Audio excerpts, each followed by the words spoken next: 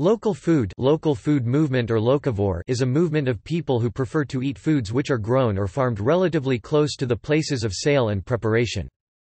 Local food movements aim to connect food producers and food consumers in the same geographic region, in order to develop more self-reliant and resilient food networks, improve local economies, or to affect the health, environment, community, or society of a particular place. The term has also been extended to include not only the geographic location of supplier and consumer but can also be defined in terms of social and supply chain characteristics. For example, local food initiatives often promote sustainable and organic farming practices, although these are not explicitly related to the geographic proximity of producer and consumer. Local food represents an alternative to the global food model, a model which often sees food traveling long distances before it reaches the consumer. A local food network involves relationships between food producers, distributors, retailers, and consumers in a particular place, where they work together to increase food security and ensure economic, ecological and social sustainability of a community.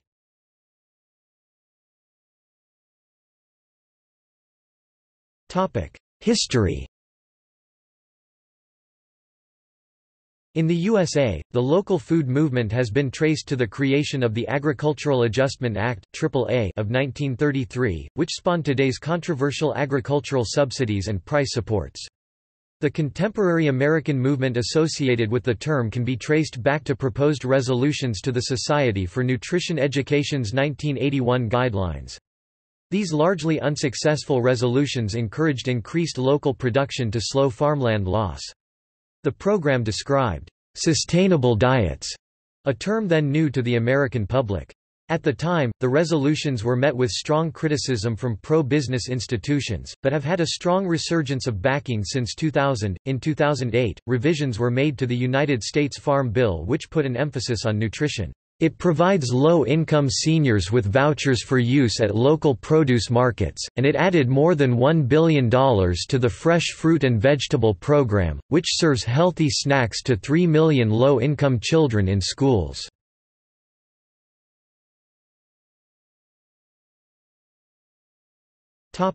Definitions of «local» No single definition of «local» or local food systems exists. The geographic distances between production and consumption varies within the movement. However, the general public recognizes that local describes the marketing arrangement e.g. farmers selling directly to consumers at regional farmers markets or to schools. There are a number of different definitions for local that have been used or recorded by researchers assessing local food systems and most are informed by political or geographic boundaries. Among the more widely circulated and popular defining parameters is the concept of food miles, which has been suggested for policy recommendations.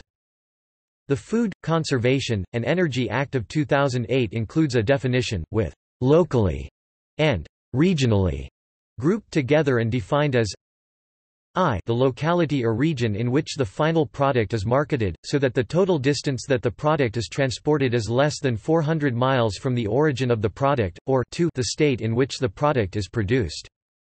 In May 2010 the USDA acknowledged this definition in an informational leaflet. The concept of local is also seen in terms of ecology, where food production is considered from the perspective of a basic ecological unit defined by its climate, soil, watershed, species and local agrisystems, a unit also called an ecoregion or a food shed.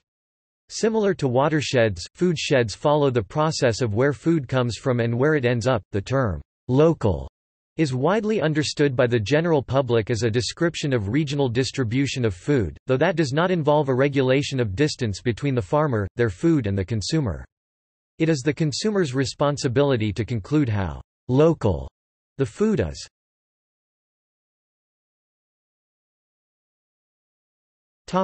Contemporary local food market The USDA included statistics about the growing local food market in the leaflet released in May 2010. The statistics are as follows. Direct-to-consumer marketing amounted to $1.2 billion in current dollar sales in 2007, according to the 2007 Census of Agriculture, compared with $551 million in 1997.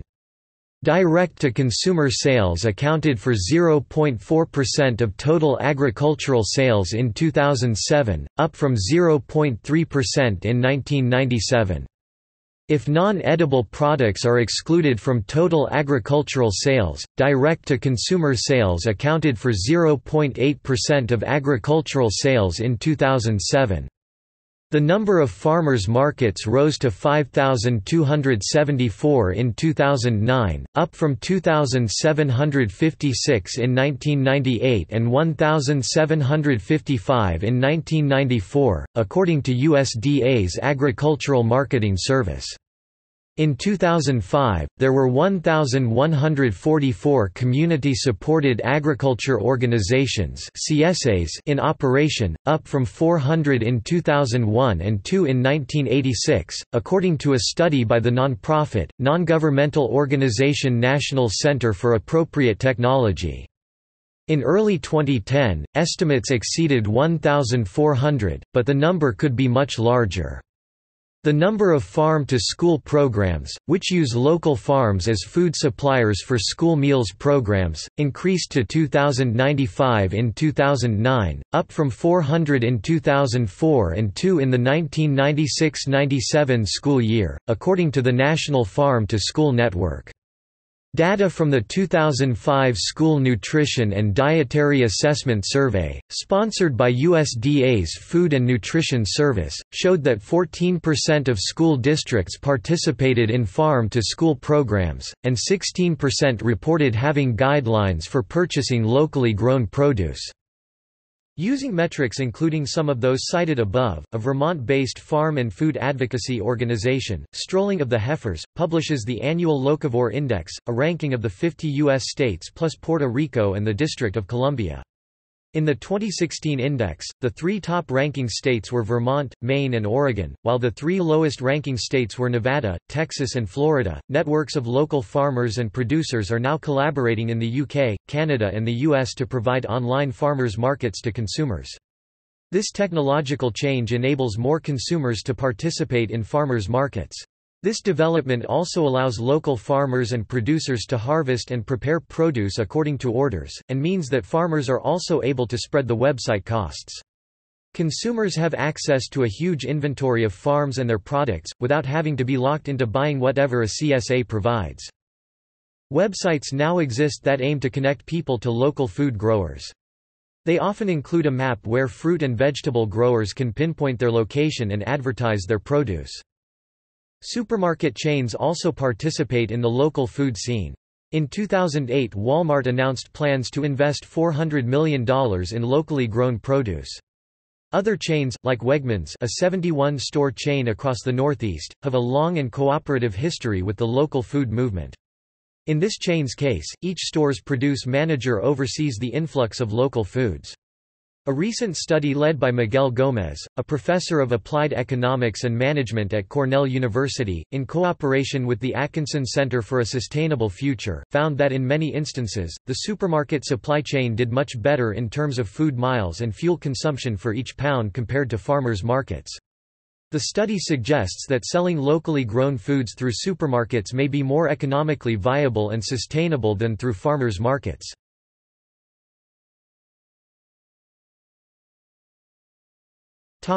Locavore and invasivore A. Locavore, or localvore, the term is a neologism is a person interested in eating food that is locally produced, not moved long distances to market. One common, but not universal, definition of local food is food grown within 100 miles 160 kilometers of its point of purchase or consumption. The locavore movement in the United States and elsewhere was spawned as a result of interest in sustainability and eco-consciousness becoming more prevalent. The word, locavore, was the word of the year for 2007 in the Oxford American Dictionary. The suffix, vor, comes from the Latin word vorare as in, devour, and is used to form nouns indicating what kind of a diet an animal has. This word was the creation of Jessica Prentice of the San Francisco Bay Area at the time of World Environment Day 2005. It may be rendered localvore, depending on regional differences. More recently, an invasivore movement has emerged as a subset of the locavore movement, which encourages the consumption of non-indigenous invasive species with the intent of controlling harmful populations.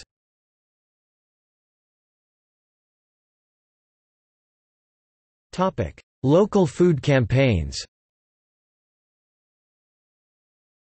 Locavores are interested in affecting their community by supporting the local farmers.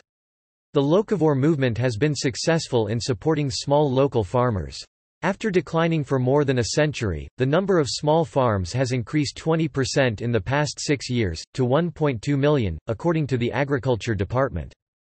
In the city of Graz Austria, several restaurants display a sign with a Genuss Region logo, which refers to the restaurant using ingredients from local sources and a commitment to the traditions of cultivating regional foods.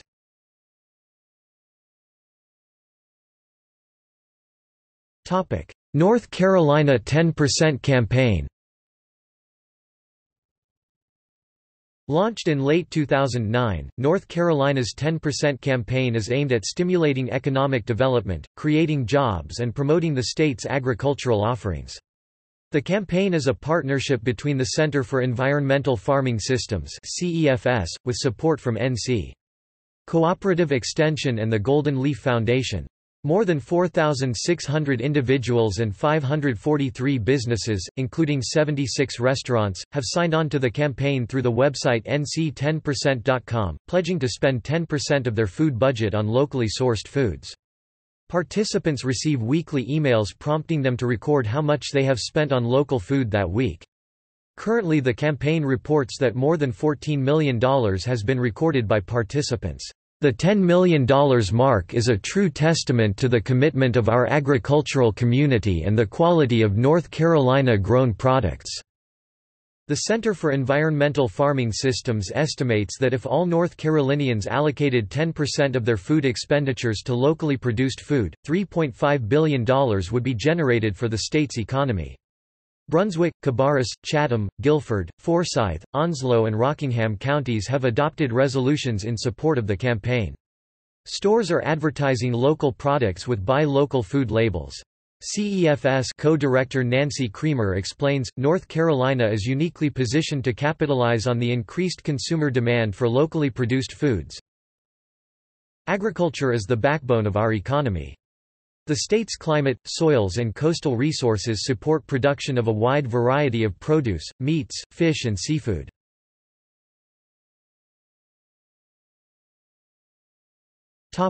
Growing Power, Inc. Urban environments are known for their food deserts in areas of poverty, and most of the food available is shipped in. Growing Power, Inc. has a mission of helping to provide equal access to healthy, high-quality, safe and affordable food for people in all communities." Several farms in the Madison, Milwaukee, and Chicago area are Good Agricultural Practice GAP certified.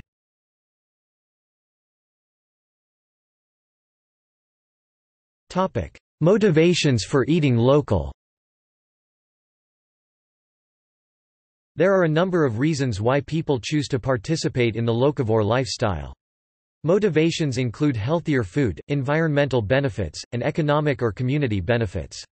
Many local farmers whom locavores turn to for their source of food use the crop rotation method when producing their organic crops. This method not only aids in reducing the use of pesticides and pollutants, but also keeps the soil in good condition rather than depleting it. Locavores seek out farmers close to where they live, and this significantly reduces the amount of travel time taken for the food to get from the farm to the table. Reducing the travel time makes it possible to transport the crops while they are still fresh, without using chemical preservatives. The combination of local farming techniques and short travel distances makes the food consumed more likely to be organic and fresh, an added benefit.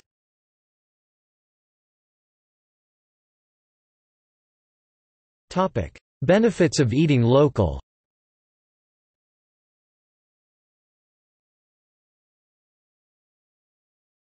Topic: Community benefits A community-supported agriculture system is extremely beneficial to a community because it enables consumers to support local farmers, obtain food that might be fresher than store-bought food, and learn more information from farmers about how the food is grown. Furthermore, local eating can support public objectives. It can promote community interaction by fostering relationships between farmers and consumers.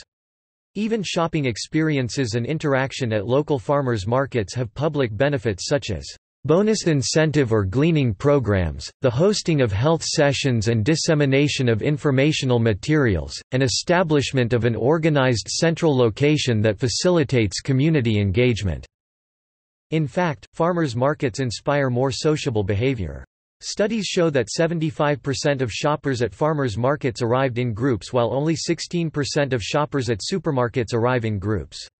Only 9% of customers in chain supermarkets had a social interaction with another customer, and 14% had an interaction with an employee, but at farmers markets, 63% had an interaction with a fellow shopper, and 42% had an interaction with an employee or farmer.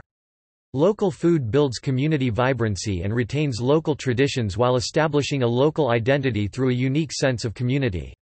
Urban gardens as shown in the documentary, Urban Roots, are another solution to creating local food that greatly benefits the community as a whole.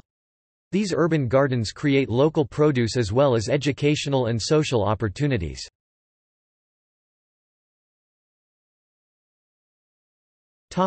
User groups Food accessibility is a topic that affects everyone in America. Supermarkets tend to carry foods that have been shipped halfway around the world, chemically ripened, and off-season. However, more affluent areas tend to have at least some access to local, organic food. Low-income communities are especially vulnerable to food deserts, areas in which there is little to no access to healthy food.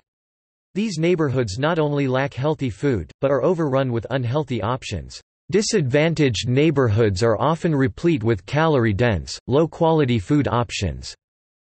Which adds to the obesity crisis rampant in America. In America, many low-income areas correlate to highly African American and Hispanic populations, so in many ways, food deserts tend to continually marginalize these races. These groups are then continually categorized as vulnerable populations. The study conducted by Taylor Eagle et al. gives a strong example between the correlation between socioeconomic class and accessibility to fruits and vegetables. It also exemplifies the prevalence of unhealthy food in more impoverished areas of Michigan cities. This study focused on a particular demographic children in school. The test subjects were sixth grade children, and although the focus was on mean income correlating with food consumption, the test site was the cafeteria. Childhood obesity is highly linked to adult obesity so in order to be effective one must target the younger subset. Targeting a younger subset is the best plan because to achieve full growth and reduce their risk of diseases, children must eat healthy into their adolescent years. A cafeteria creates an atmosphere of little choice. According to Terry Huang, "...schools play a vital and visible role in their communities." Why is there no better model for food accessibility in these arenas? Children can become a user group for food accessibility, as they are models for the future health of this country. What children choose to eat will affect their food choices at an older age. In other words, what we eat as children is what we will eat as adults unless change is forced at schools. This trend continues even into college, where students play an active role in changing the face of food. College students are of one of the worst demographics of unhealthy eaters and this becomes a target for providing local, natural food access. In all, people in low-income areas and school children are undernourished and overfed. Low-income populations should focus on joining together as a community to ask for these local sources of food as well as educate their peers about the dangers of fast food. School children should also have access to education to begin lifelong healthy eating habits. This opens up a pocket of opportunity that will not only aid health, but also help build community in diverse areas.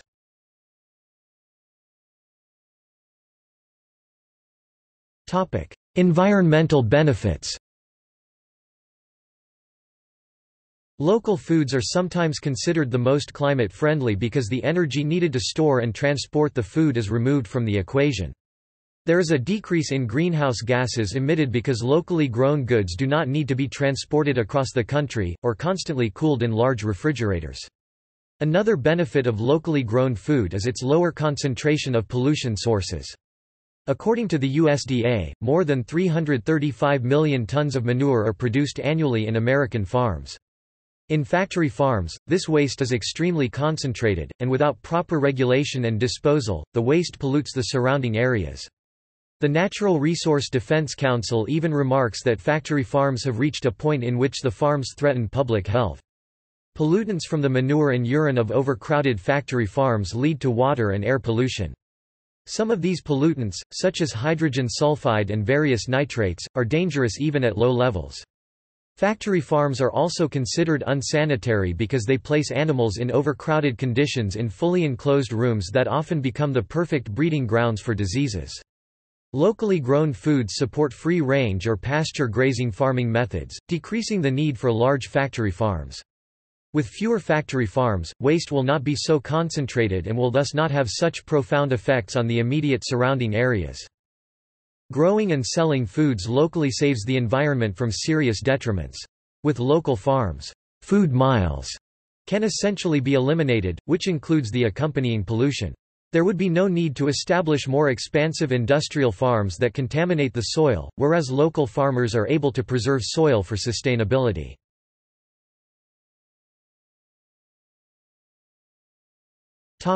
Economic benefits A critical objective for any community is to promote investments that serve to increase the economic and social opportunities available for residents. If the United States wishes to sustain current agricultural production in the future, there must be a market for emerging farmers to counter the effects of a collectively aging farmer population. The introduction of farmers' markets into the local economy can directly benefit the lives of all citizens within the community. In a study conducted in the state of Iowa Hood 2010, it was concluded that the introduction of 152 farmers markets into the state economy led to the creation of 576 jobs, a $59.4 million increase in output, and a $17.8 million increase in income UCS USA report. While this is just one state, other studies conducted in different regions have produced similar results on the economic benefit of more local farming on a specific community. Otto's study further reported that each individual farmer's market produced 3.8 new jobs per market. However, these economic developments are not limited to local food markets. Surveys of towns in Oregon, Lev, Brewer, and Stevenson 2003, found that farmers' markets were the primary reason that tourists visited local towns on the weekend. The gross economic effect can be calculated, as in the case of the Crescent City Farmers Market in New Orleans, where this single market contributed over $10 million to the local economy. The potential reauthorization of the federal Farmers Market Promotion Program led to the creation of thousands of jobs within local economies, and further collective economic growth. The logical conclusion is that with the increase in economic benefits due to local farming, room is created in this ever-expanding industry.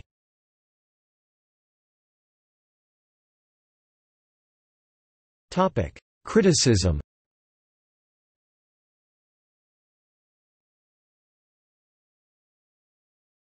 Topic: Food miles. Critics of the local foods movement question the fundamental principles behind the push to eat locally. For example, the concept that fewer food miles translates to a more sustainable meal has not been supported by major scientific studies. According to a study conducted at Lincoln University in New Zealand, as a concept, food miles has gained some traction with the popular press and certain groups overseas. However, this debate which only includes the distance food travels is spurious as it does not consider total energy use especially in the production of the product.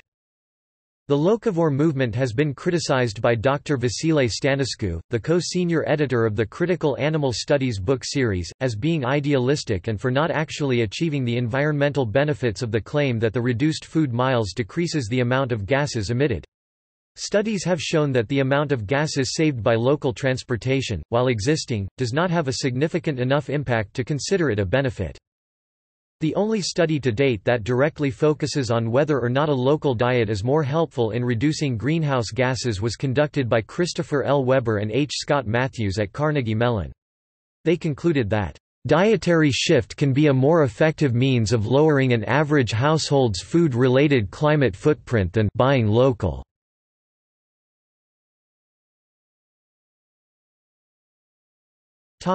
environmental impact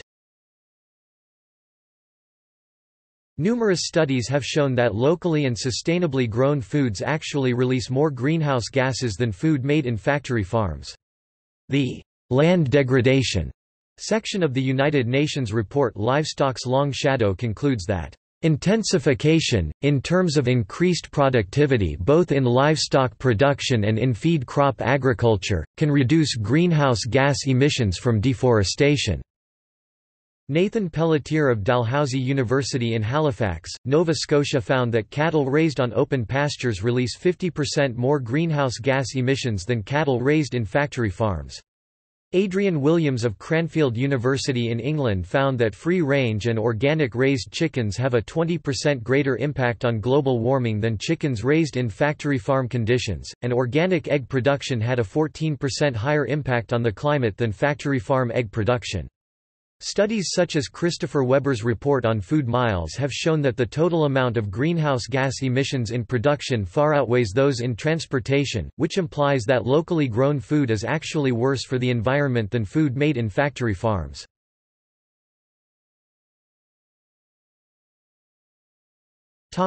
Economic feasibility